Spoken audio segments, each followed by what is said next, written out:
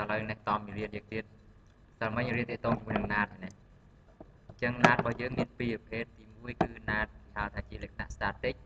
យើង map ពី1ទៅ1មួយទៀតគឺជាលក្ខណៈ dynamic យើង map ពីមួយក្រុមទៅមួយក្រុមទៀតអញ្ចឹង NAT static ពេលច្រើនគេធ្វើសម្រាប់ all client access ចូលក្នុង internal server របស់យើងអញ្ចឹងពេល client access IP public មកវានឹងរុញ redirect ទៅឲ្យ IP server របស់យើង ហើយបើសិនជា IP បើ NAT ជា dynamic យើងមាន IP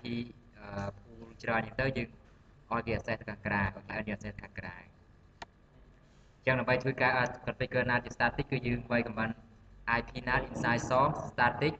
យើងដាក់ IP private របស់យើងគឺ IP server របស់យើងនេះទៅទៀត IP យើងដាក់ IP public គេហៅជា inside local inside global ហ្នឹងគឺជា IP ដែល ISP ផ្ដល់ឲ្យយើង ទៅមកទៀតយើងចូលក្នុង interface serial Solid Source interface នេះគឺជា interface connect router ហើយ connect មក server ខាងក្នុងអញ្ចឹងយើងវាយថា IP NAT inside ដល់ពេល interface ដែល connect ទៅខាងក្រៅដែល connect internet គឺយើងវាយថា IP NAT outside អញ្ចឹងគឺ static NAT គឺយើងពេកគឺតែប៉ុណ្ណឹងទេអូខេអញ្ចឹងឧទាហរណ៍ដល់ពេល client access ចូលមកគឺ client គេ access មកគឺគេ access មកនេះ 209.165.201.5អញ្ចឹងវានឹង redirect ចូលទៅ server នេះ redirect មក192.68.10.254ហើយដល់ពេលយើងធ្វើ NAT ហើយយើងចង់មើលថាតើ NAT យើងដើមដើយើងវាយ command so IP NAT translation so IP NAT translation ទៅឃើញហើយមាន section NAT អត់បើសិនជាឃើញមានអា section នេះមានន័យថាគឺជា static NAT ដោយសារវា map ជាប់រហូត បើសិនជាមាន section client access មកគឺចេះចេះអញ្ចឹងមានន័យថា NAT នេះគឺមាន section ថ្មីមួយដែលគេបានបង្កើតជាដែលកំពុងតែ access ប៉ុន្តែបើយើងឃើញតែមួយទៀតគឺជា static NAT វា map មកយើង automatic ចូលក្នុង NAT ទីបទាំងអស់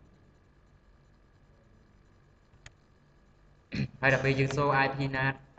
statistic គឺយើងមើលឲ្យប្រាប់ថាអ្នក static គឺ1គឺបានបកប្រែ1ហើយអញ្ចឹងទៅអញ្ចឹងមាន hit ប្រមាណអញ្ចឹង5ដងអញ្ចឹងន័យថាអឺ static គឺយើងមាន1មានតែមួយ static ទេក៏ប៉ុន្តែក្នុង static NAT ហ្នឹងគឺវាប្រើប្រាស់បាន5 section ហើយគឺមាន5 section ដែលបាន translate អូខេឥឡូវយើងចូលដល់ទាក់ទងជាមួយនឹង dynamic NAT អញ្ចឹងគេប្រើប្រាស់ dynamic NAT ពេលណាអញ្ចឹងគេថា the pool of public IP version for address inside inside global pool អញ្ចឹងគឺយើងត្រូវការ IP public ច្រើនដើម្បីបង្កើតជា pool មួយអញ្ចឹង is available for any device inside the network first come first serve basis អញ្ចឹងឧទាហរណ៍ថាយើងមាន IP public 4បើសិនជាយើងមានកុំព្យូទ័រ10ខាងក្នុងអញ្ចឹងមានតែកុំព្យូទ័រ4ទេដែលអាចចេញទៅក្រៅនៅពេលតែមួយអញ្ចឹងមួយមួយទៅគឺវាយក IP public មួយចេញទៅមួយទៅទៀតគឺយក IP public មួយទៀតអញ្ចឹងមួយទៀតគឺយក IP public ទៀតបើសិនជាដល់ដំណាក់កាលស៊ីនទី5គឺអត់មាន public សល់ទេដល់ពេលអញ្ចឹងគឺអស់ហើយអញ្ចឹងបើសិនជាយើងប្រើ dynamic NAT គឺអឺ យើងត្រូវការ IP public ច្រើនដើម្បីបកប្រែសម្រាប់ pool កំតែ random ដោយរូបយើងតាមបាញ់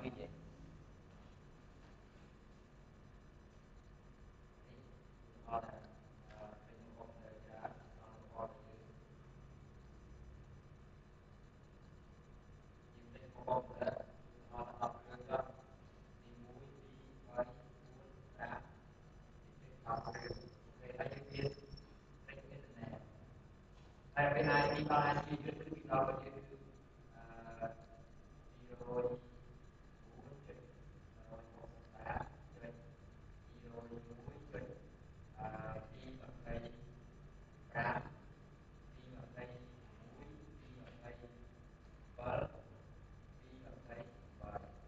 ណា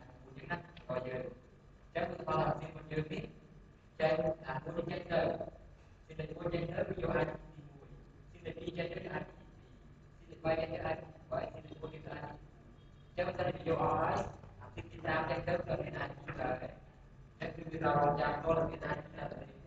អាជីវកម្មគឺដល់យើង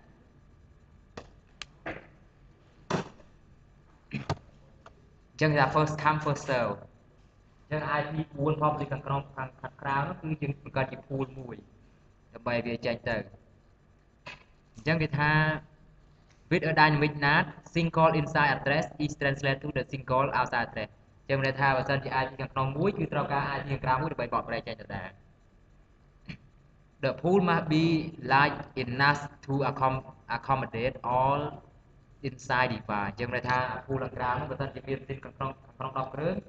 IP pool ក៏មាន IP 10 IP ដែរដើម្បីវាអាចបកប្រែទៅមួយមួយប៉ុន្តែឥឡូវយើងគិតមើលមានន័យអត់យើងធ្វើអញ្ចឹងវាដូចចំណាយ IP ចូលដែរអញ្ចឹងយក IP ទៅដាក់ឲ្យម៉ាស៊ីនតែម្ដងទៅ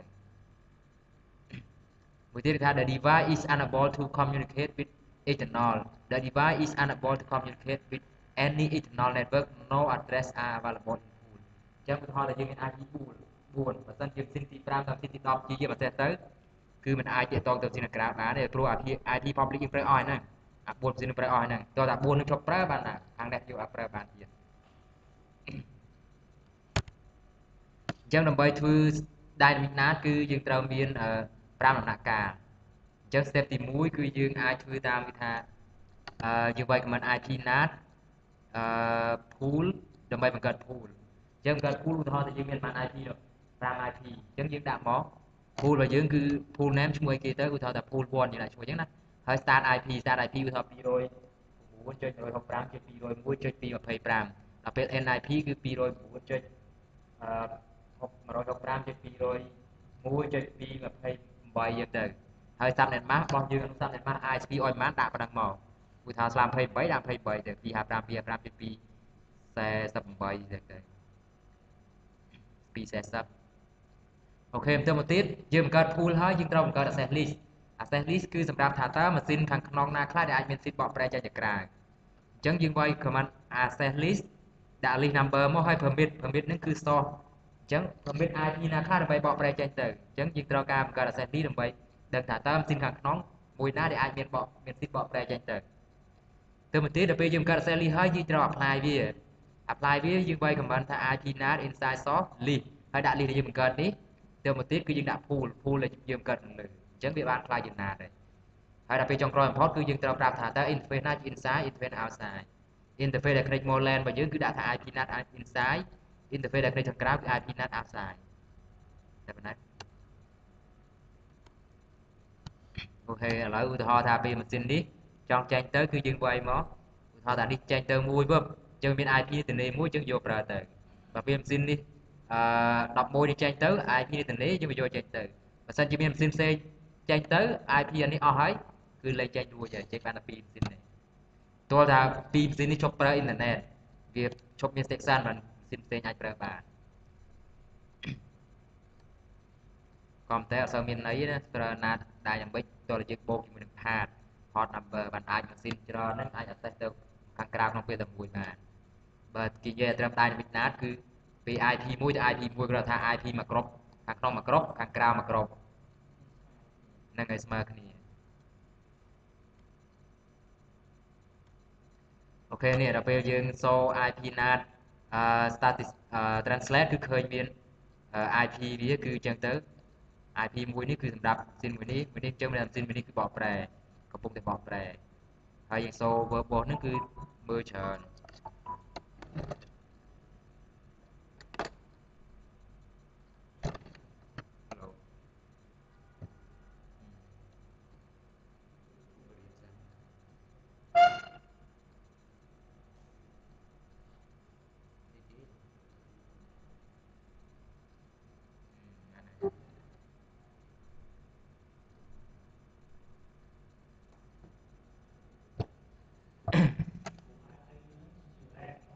បាទនឹងឯមករ៉ែងមករ៉ែងរ៉ែងជុំគ្នាបើឆ្ងាយ គ្នាអាចឆ្ងាយនេះអត់កើតទេអត់កើតទេ start IP NIP យើងមករ៉ែងរ៉ែងណារ៉ែងណាហើយដល់ពេលយើងសូវាទៅ statistic ទៅយើងអាចឃើញនេះឥឡូវ static យើង0យើងមាន dynamic 2យើងបកប្រែនេះនេះកំពុងបកប្រែ pool យើងឈ្មោះថា pool 1អញ្ចឹងទៅអូខេនេះគឺជាការឧទាហរណ៍ដើម្បី configure dynamic NAT ឧទាហរណ៍ថាគេមាន IP public គេឲ្យយើងគឺមានប៉ុន្មាន IP នេះ IP NAT pool អញ្ចឹងគេដាក់ឈ្មោះថា NAT pool ហើយគេ IP វាពី226ទៅដល់240ចឹងប៉ុន្មាន IP 16 IP 14 IP មែនទេចឹង14 IP ហើយដល់ពេល30ម៉ាស់របស់យើងគឺ30ម៉ាស់គឺស្មើ27ចឹងយើងដាក់ទៅ255 255 224ទៅមកទីគឺយើង access list លេខ1 permit 192.8.0.0 អូខេចឹង0.0.255.255ចឹងទៅអានេះគឺមានន័យថាម៉ាស៊ីនខាងក្នុងដែលមាននៅក្នុង RAM នេះគឺអាចបកប្រែចេញទៅក្រៅបានទៅទៀត IP NAT inside source link 1 pool NAT pool 2 overload ចឹងមានន័យថាយើងអឺឲ្យម៉ាស៊ីនខាងក្នុងតាមពិតកន្លែងនេះគឺត្រូវមានពាក្យ overload ទេពាក្យ overload គេលេងអូសំទោសដោយសារគេនេះគេគេប្រើជាមួយ pad ហើយអញ្ចឹង configure ជាមួយនឹង pad អញ្ចឹងដល់ពេលដែលយើង configure ជាមួយនឹង pad គឺម៉ាស៊ីនខាងក្នុងទាំងអស់នេះក្នុង array នេះគឺអាចមានសិទ្ធិបកប្រែចេញទៅក្រៅបានដោយប្រើប្រាស់ IP public យើងគឺពី226ទៅដល់240បើសិនតែយើងអត់ប្រើពាក្យ overload គឺវាខ្លាចជា dynamic NAT ធម្មតាបើយើងប្រើជាពាក្យ overload គឺមានន័យថាគឺ pool របស់យើងគឺវាជាលក្ខណៈអឺផាតហើយហើយមួយទៀតដល់ពេលយើង ចូលក្នុង router របស់យើងយើងចូល interface serial zone លើមួយហ្នឹងទៅយើងដាក់វាជា IP NAT outside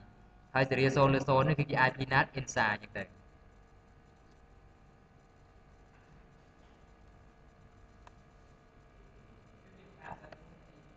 សេសលីសម្រាប់សង្កល់ថាតើម៉ាស៊ីនណាខ្លះដែលអាចមានសិទ្ធិបកប្រែ IP បានបើសិនជាយើងអត់កើតសេសលីវាវាដឹងថាតើម៉ាស៊ីនណាដែលអាចបកប្រែ IP ទៅបាន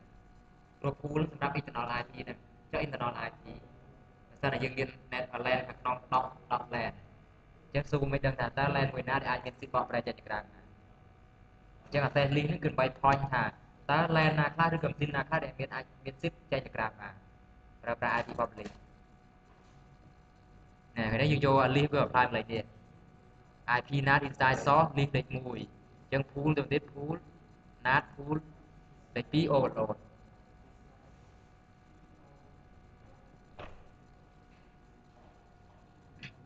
នេះគឺជា command ដើម្បីយើង configure ជាលក្ខណៈអឺ dynamic NAT បូកជាមួយនឹង path ពី overload ក្រោយនេះតែមួយ command នេះពី overload ហ្នឹងយើងអត់ overload គឺ dynamic data ធម្មតាបើយើងមានគឺ overload ក្រោយគឺមានន័យថាជា dynamic data បូកនឹងខា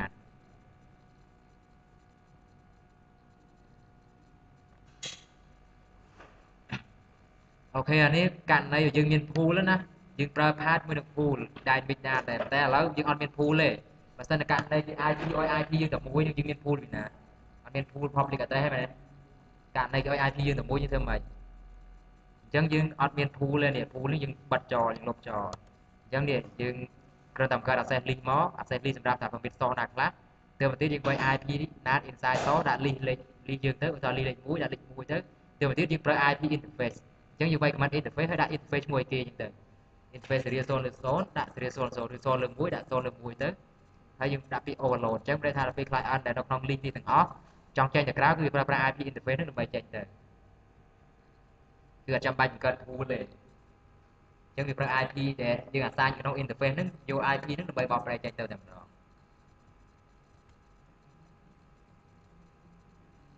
ហើយដល់ពេលយើងសូ IP NAT translation គឺវាឃើញមាន port ពីក្រោយដែរបើធម្មតាគឺអត់មាន port ទេតែដល់យើងប្រើជាមួយនឹង path គឺឃើញមាន port ពីក្រោយគឺ port ប៉ុន្មានអញ្ចឹងទៅនេះ port វាចេញទៅប៉ុន្មានយើងបកប្រែចេញទៅប៉ុន្មានអញ្ចឹងទៅឃើញទេដល់ពេលយើងសូ IP NAT translation ឃើញមានពេលយើងប្រើ path ឃើញមាន port បូកពីក្រោយហ៎បើយើងប្រើ NAT ធម្មតាអត់មាន port ពីក្រោយទេពេលយើងប្រើ path ពើគឺឃើញបូកជាមួយនឹង port ពីក្រោយ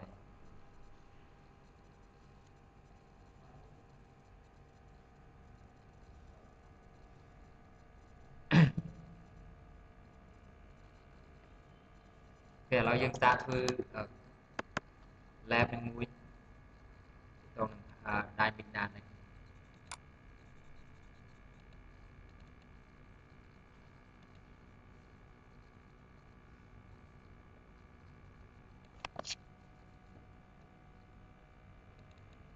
ចឹងនៅក្នុងនេះមាន lab មួយគឺ configure dynamic NAT អូខេឥឡូវយើងដាក់ធ្វើទាំងអស់គ្នាមកធ្វើម៉េច configure dynamic NAT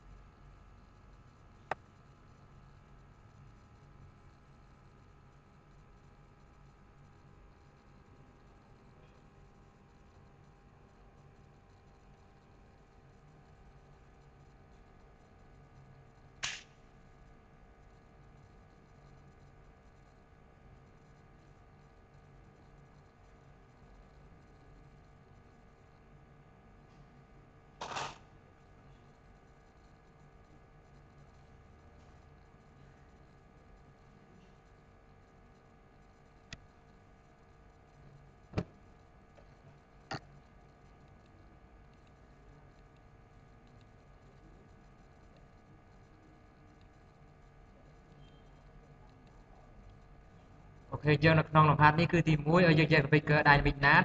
ហើយ verify configuration ទៅត្រូវអត់អញ្ចឹងគេថា configure traffic that will permitted អញ្ចឹងនៅក្នុង router លេខ2លេខ2នេះគឺ configure one statement ASL ឈ្មោះថា ASL លេខ1ដែល permit all the address belong to network នេះ172.16.0.0.16នេះអូខេអញ្ចឹងគេថាដើម្បីធ្វើម៉េចឲ្យ allow permit network អស់ access list លេខ1គេបង្កើតសម្រាប់ធ្វើអីគេបានឲ្យ permit network នេះ សម្រាប់យក access list លេខ1នេះមក apply មួយណាថាឲ្យ address នេះគឺអាចបកប្រែចេញទៅក្រៅបានគឺប្រើប្រាស់ IP នេះជា pool នេះអញ្ចឹងថា router លេខ2នេះយើង configure pool មួយដែលសម្រាប់អឺ for IP address នៅក្នុង network នេះ196នេះ for IP address this អញ្ចឹង IP វាគឺពីប្រហែល96 97 98 99នេះអូខេអញ្ចឹង address space node that the topology are 3 network rank that would be translated based on SL អញ្ចឹងអូខេអញ្ចឹងគេឲ្យ figure មកតែ pool គេមានប្រាប់យើងអត់ pool figure not pool all router អញ្ចឹង pool វាមានប្រាប់យើងទេអញ្ចឹងយើងអាចវាយខ្លួនឯងបានអូខេអញ្ចឹងមុនដំបូងគឺយើង configure វាយើងមើលនេះ interface ណា inside ណា outside ឥឡូវយើងមើល analyze ខ្លួនយើងសិនដើម្បីធ្វើណាទី1គឺយើងត្រូវបង្កើត pool ទៅបង្កើត pool ហើយធ្វើឲ្យទៀត គឺ access list មែនទេ access list ហើយយើង apply ណាទៅទៅទៀតយើងយើងប្រាប់ថា interface ណាជា inside ណាជា outside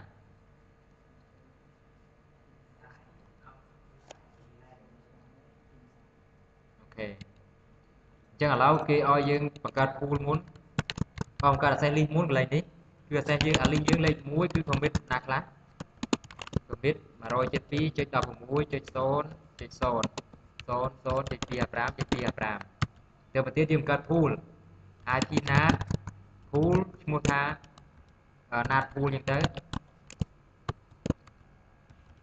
អូខេទៅប្រទេសគឺយើង allow ពី IP ប៉ុន្មានគេប្រាប់យើងមិន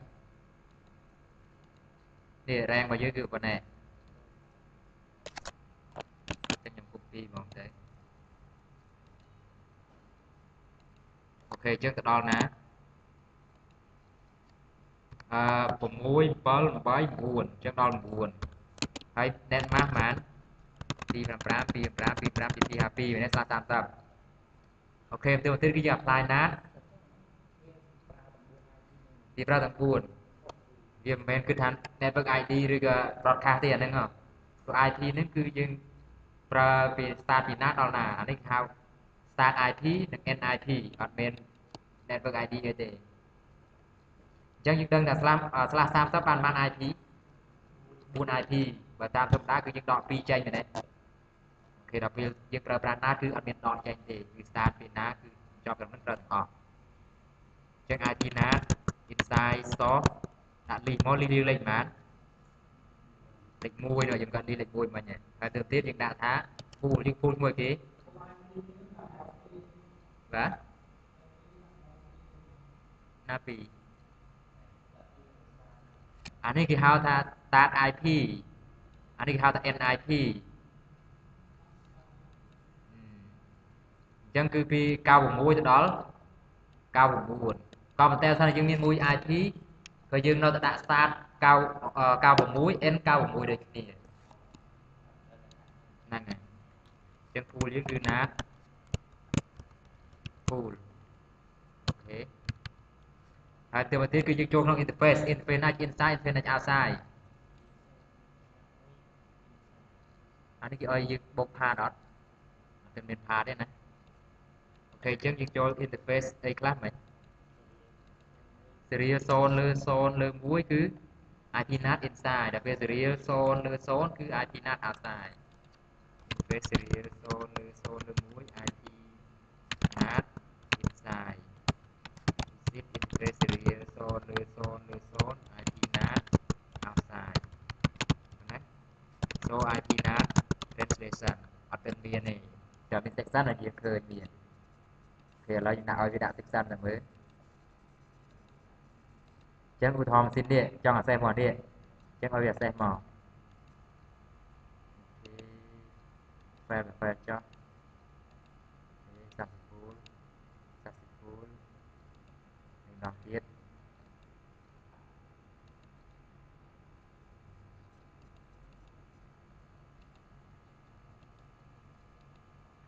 ខេយើងសាកសួរថាឥឡូវយើងទៅមើលណាសូមម្ដងទៀតសូមបាញ់មុនគាត់មិនមានអីណាឥឡូវសូមម្ដងទៀតឃើញទេពេលដែលយើងគឺណាទៅគឺវាឃើញទៅប្រមាណប្រមាណតាមពិតអានេះគឺដូចជា overload អោយក្រោយហ្មងហ៎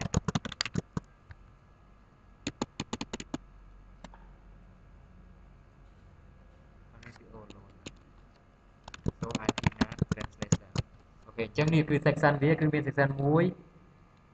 ប៉ុណ្ណឹង 2 3 4អញ្ចឹងមិនយើងជាជាមួយសេស4ដងគឺមាន4 section ពី4ដងអានេះដាក់1 2ឥឡូវយើងសាកឲ្យវាសេសថត80វាមានថតអត់ចឹង server យើងប្រហែល209.65ជា200.5ណាជាធម្មតាឥឡូវគឺវាដូចជា enable path ដែលយើង default ហ្នឹងតែ9.165.200.5 ឥឡូវយើងទៅមើលណាតរបស់យើងវិញអូខេចាឥឡូវដល់ពេលយើងសូ IP na translation ហ្នឹងគឺវា enable បូកមួយនឹង path ដែលយើង automatic តែម្ដងគឺមាន port ក្រោយ iOS របស់យើងគឺ series 3ហើយអូ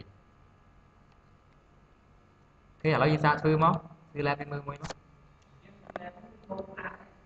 អត់ទាន់បោកទេយើងប្រើពី overload មួយទៀតតែពេលយើងសូ session វាដូចបោក ទៅថែមតែពី overload ទៅគឺខាតតែម្ដងហ្នឹងអត់ថែម pool ទេថែមនៅក្នុង command IP NAT inside source list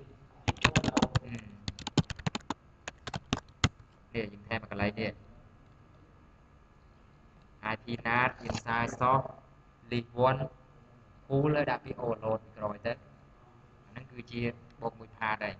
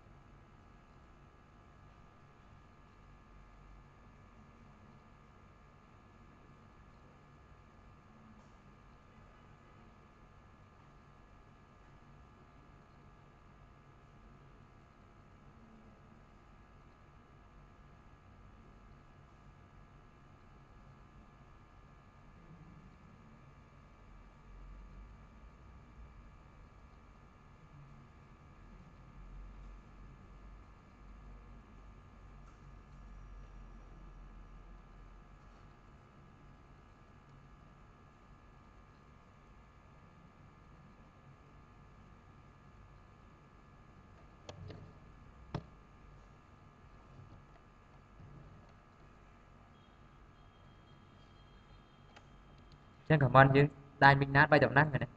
មានអីច្រើនតែសំខាន់យើងត្រូវយល់កើត access list អីគេ Dynamic មូលហេតុឲ្យយើងកើត access list ក្នុង Dynamic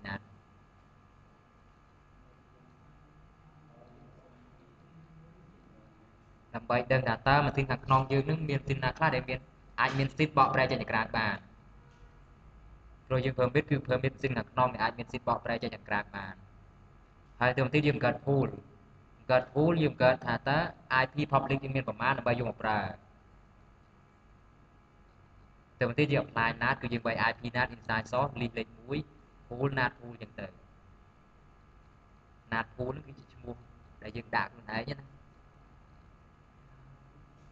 ហើយយើងប្រើប្រាស់វាថាតើ interface ណាជា inside interface ណាជា outside ចឹង interface connect មកខាងក្នុង route route ទៅខាងក្នុងគឺយើងដាក់ IP NAT inside interface ដែល connect ខាងក្រៅគឺដាក់ IP NAT outside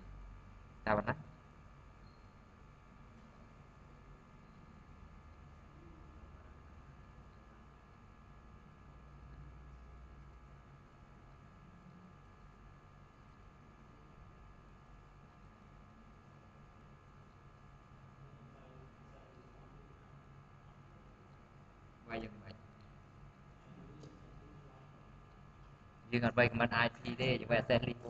1ជាវាយ IP access list អាហ្នឹងចូលជា name access list វិញហើយ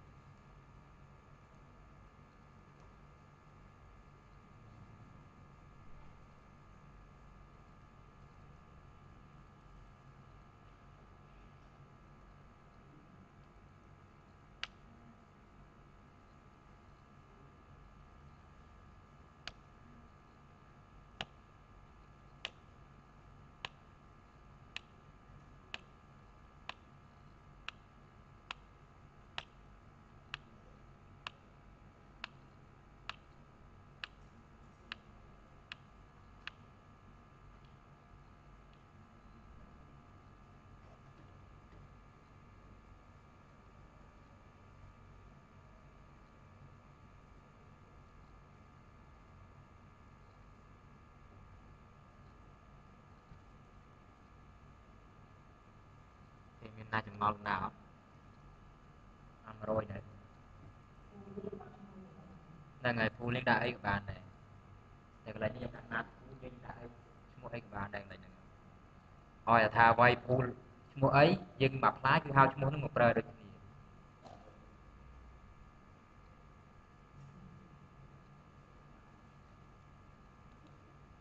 តាមពិត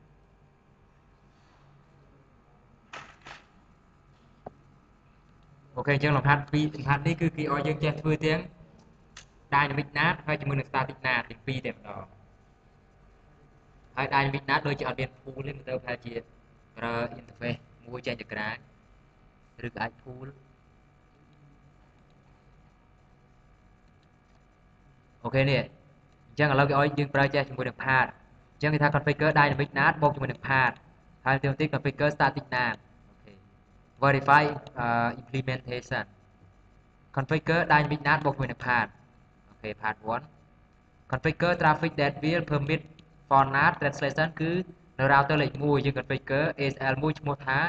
uh, R2 NAT that allow the three statement to permit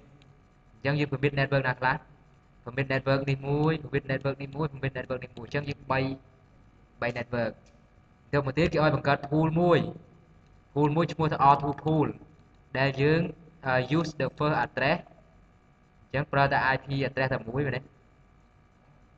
use the first address in this អញ្ចឹងន័យថាក្នុង pool ហ្នឹងគឺប្រើតែមួយ IP address ទេគឺ IP 28ទេ address space for the second second address is use the static NAT អញ្ចឹងន័យថា IP ទី2គឺឲ្យប្រើសម្រាប់ static NAT អញ្ចឹងណា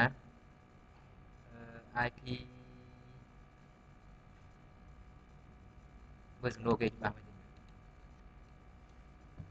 ត pool NAT pool use the first address in this subnet address space. The second address uh, is used for static NAT later in part 2 okay part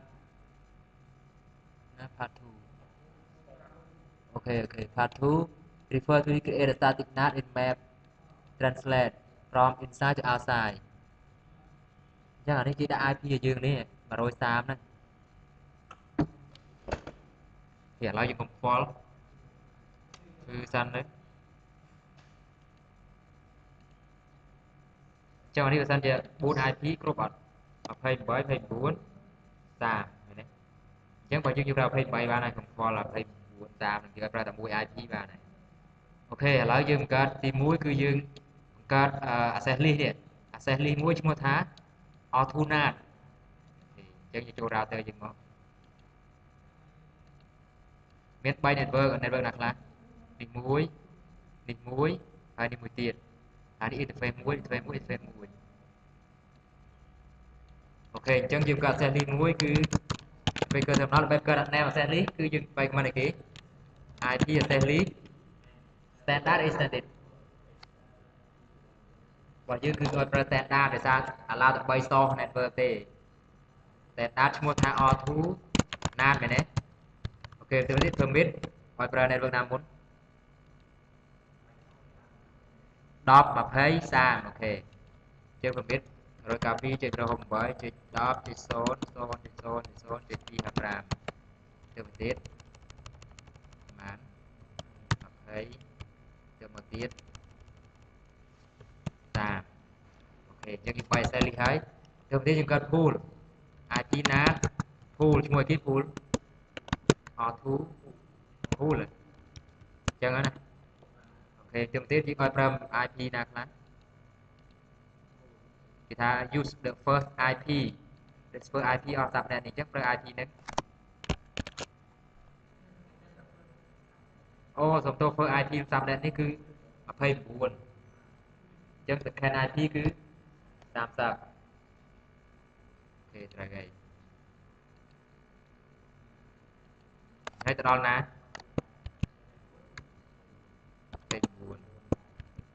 ហើយ NIP គឺ29ដែរសាប់ណែនម៉ាស់ម៉ា255 25 25ចុច252អូខេចូលមកទៀតយក apply វា apply វាមិន inat inside stock list ម៉ាត់ r2 nat ចូលទៀត pool r2 pool ហើយប្រើពាក្យអីទៀតដើម្បីធ្វើ path overload ពីក្រោយអូខេឥឡូវយើងធ្វើយើងកាត់ cell កាត់ pool ហើយ apply nat ទៀតឥឡូវយើងប្រើប្រាប់ថាទៅ interface ណាជា inside interface ណាជា outside ឥឡូវយើងមើលអស់នេះលើរូបឥឡូវយើងមើលថា interface ណាខ្លះជា inside outside interface ណាខ្លះជា inside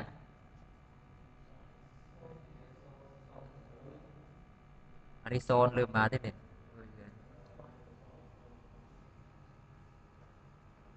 អូខេអញ្ចឹងមើលអាណា IP public នឹងគឺជា outside ហើយ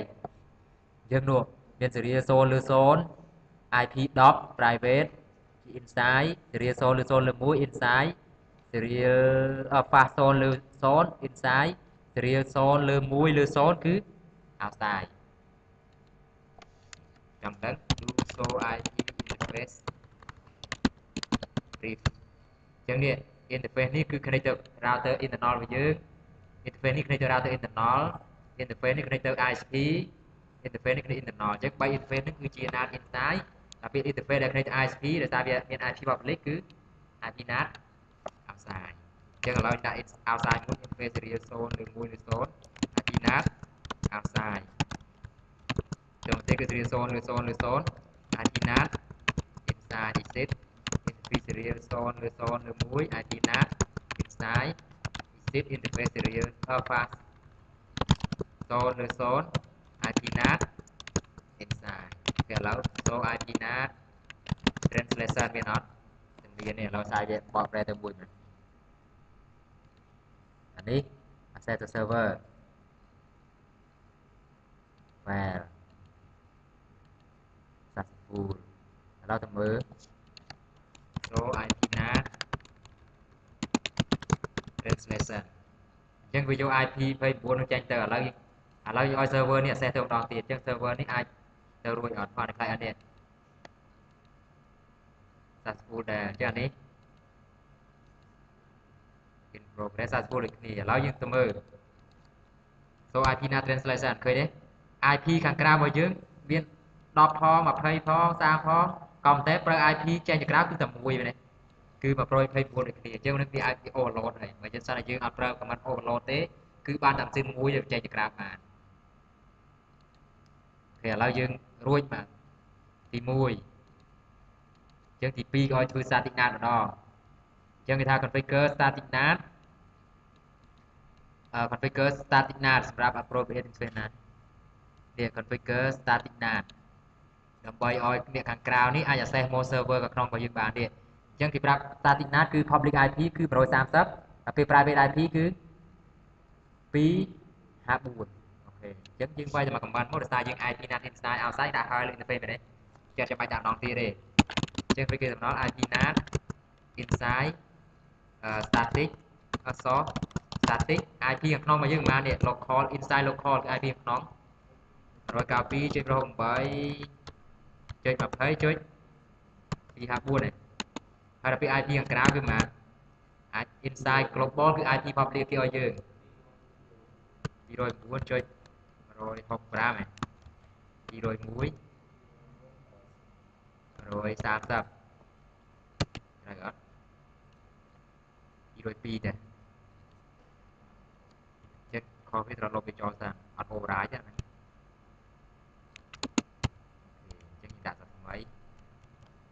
202មើលម្ដងទៀត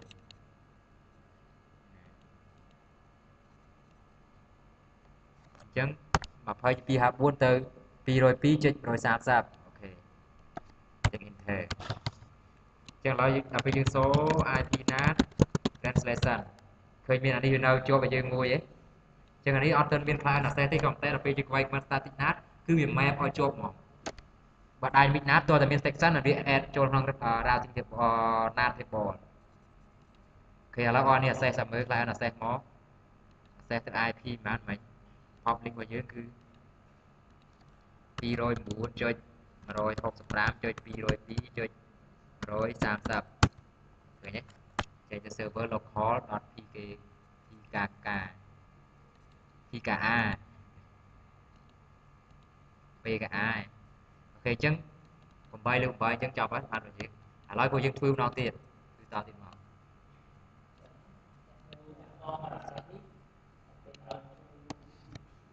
ឥឡូវចប់ស្ដាប់សួរតែមិនមិន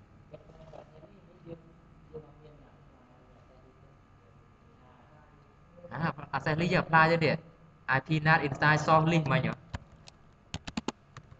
configure terminal do show history ឃើញអ្វីអត់នេះ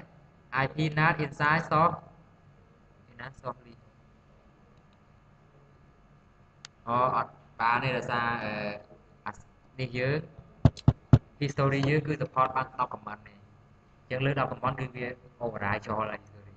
អញ្ចឹងនេះខ្ញុំមិនគឺនេះខ្ញុំវាយលេខនេះ running ឃើញទេឃើញខ្ញុំទាញ access list មកប្រើអត់នេះ IP NAT inside soft list នេះទាញយក list មកប្រើនេះ ហើយបាន apply ទៅ pool ទេអញ្ចឹងអានេះគឺមិននេះគឺ command ណាតហើយអា access list គឺយើងបង្កើតចោលទេ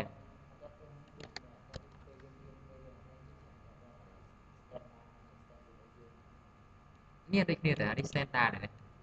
យើងចង់ប្រើ standard បាន standard អាឡាពីសោះណាទៅណាទៅពីសោះប៉ុណ្ណឹងទៅ destination ND អញ្ចឹងទៅដូចគ្នា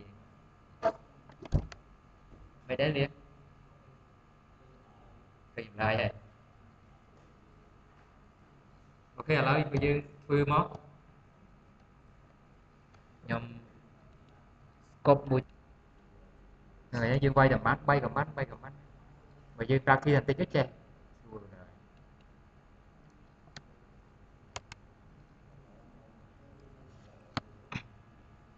ហើយអានេះអានេះសំខាន់ណាស់នេះពួកច្រើនពួកយើងធ្វើគេហៅ port forwarding hot forwarding វាស្ទៀងជាមួយនឹង static NAT ដែរក៏ប៉ុន្តែពេលដែលយើងធ្វើវាគឺយើងត្រូវការបូកមួយនឹង port ឧទាហរណ៍ថាគេ access មក IP public យើង port 80យើងរួចទៅឲ្យ server ណា port 81រួចទៅឲ្យ server មួយណាយើងសម្រាប់ internet អញ្ចឹងណាអញ្ចឹងគេថា port forwarding is take other forwarding forwarding on a network port from one network to uh, node to another អញ្ចឹងន័យថាឧទាហរណ៍ internet មកគេ access មក IP មួយនេះអញ្ចឹង ពេលអាសេមក IP នេះហើយ port ណាវារុញរែកមកម៉ាស៊ីននេះ port លេខប៉ុន្មានអញ្ចឹងទៅអញ្ចឹងវាស្ទៀងដូចតែ static ណាដែលយើងវាយ IP ណា inside source ហើយដាក់ static ហើយដាក់ IP ក៏តែមាន port ពីក្រោយ port លេខ10 port 80អញ្ចឹងណាអញ្ចឹងវារុញឲ្យយើងអញ្ចឹងវិធីគេថា packet send to the public IP and port router x are the forward private hot inside the network ចឹងដែលថាពេលដែលគេ send មក IP public ហើយវា forward ទៅ inside IP ហើយ port ផ្សេងមួយទៀតមាន comment អត់អូខេនេះចឹងឧទាហរណ៍នៅក្នុង router bridge link 6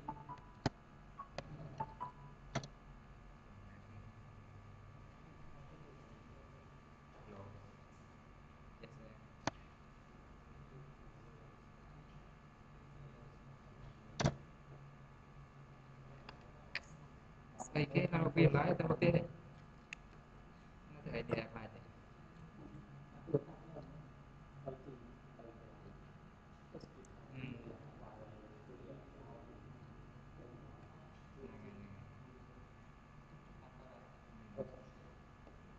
តិច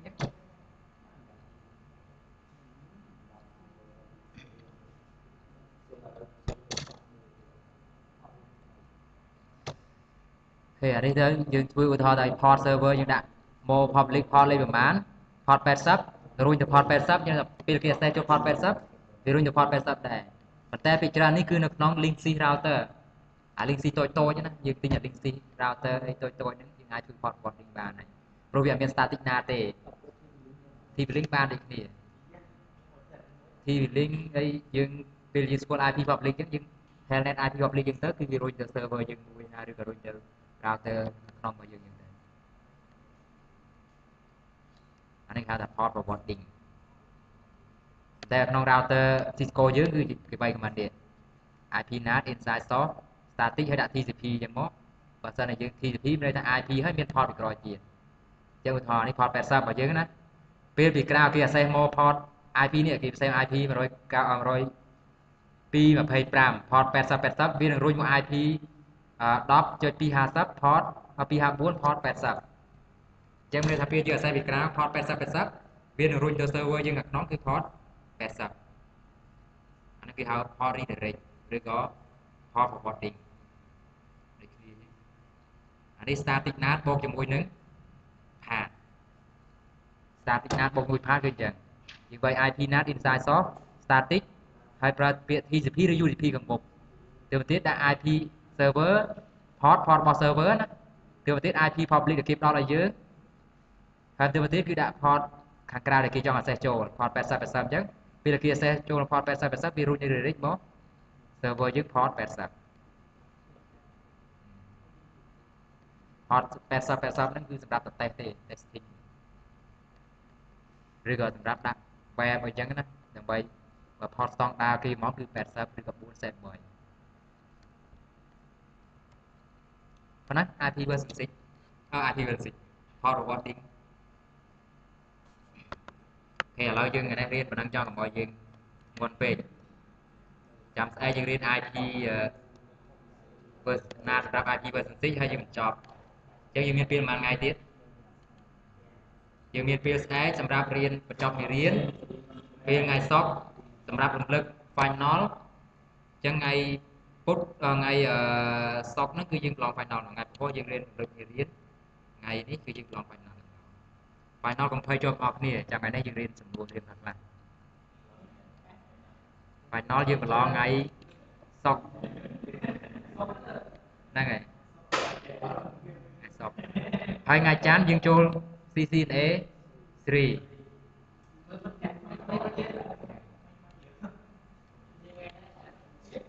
យើងជប់លៀងអាទិត្យឯង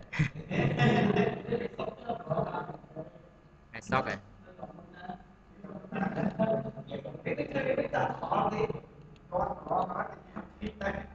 បើប្រឡងឲ្យចប់សិនណាអូខេតោះយើងអញ្ចឹងសម្រាប់នឹងចុះណាចង់ copy វីដេអូ copy ឲ្យមក